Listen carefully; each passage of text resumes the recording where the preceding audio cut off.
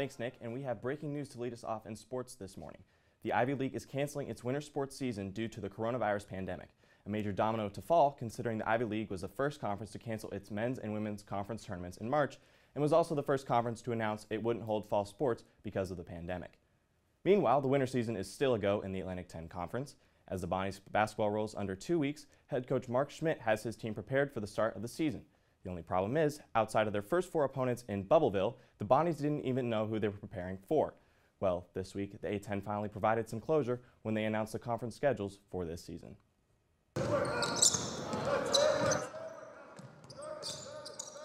For the Bonnies, they open up with three teams in the top six of the preseason poll, beginning with St. Louis, followed by road trips to Rhode Island and preseason favorite Richmond just after New Year's Day. 18 conference games in total for the Bonnies, same as last year, with nine airing nationally. The remaining nine games you can catch on ESPN+. Plus. But with all the uncertainty surrounding the coronavirus situation, A10 Commissioner Bernadette McGlade acknowledges the schedule is far from set in stone. And the membership, which is us, responded quickly to the commission and The league office, if necessary, has the ability to readjust the schedule at any point in time, move games, and make the necessary decisions. Everyone has come together, coalesced around what we need to do to be successful in the COVID environment. The league has plenty of bye dates built into the schedule.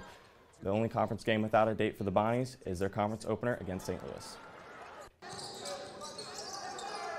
And there will be a few preseason all-conference selections taking the floor for the Bonnies. Both the men's and women's team have a few selections. Junior guard Asianae Johnson received second team honors for the women. She returns as a leading scorer for the Bonnies from a year ago. Junior guard Kyle Lofton took home a second team selection as well from the men's side after leading the NCAA in minutes per game. And Osun Osunniyi found his way onto the third team after a dominant season defending the rim that led him to a second consecutive all-defensive team selection. Some NFL news now, where the Bills are in the midst of a historic season led by quarterback Josh Allen, the reigning AFC Offensive Player of the Week. Fresh off a victory over the Seattle Seahawks, the win was a big step for the Bills, but for Allen, the win meant a lot more.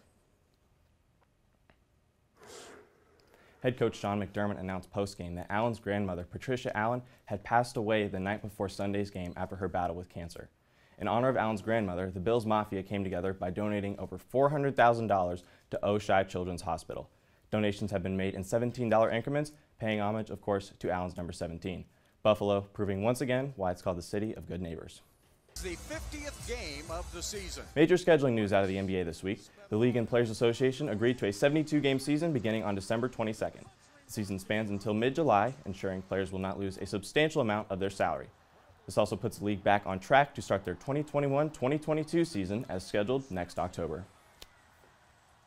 We finish, of course, with SBU TV Sports Trivia, as this week's question stays on the hardwood. Which teams did St. Bonaventure beat in the A10 tournament to win their first championship during the 2011-2012 season? Andrew Nicholson led the Bonnies to victories over St. Joseph's, Massachusetts, and Xavier. Congratulations to Iris Archer of Marlton, New Jersey for sending in the first correct answer.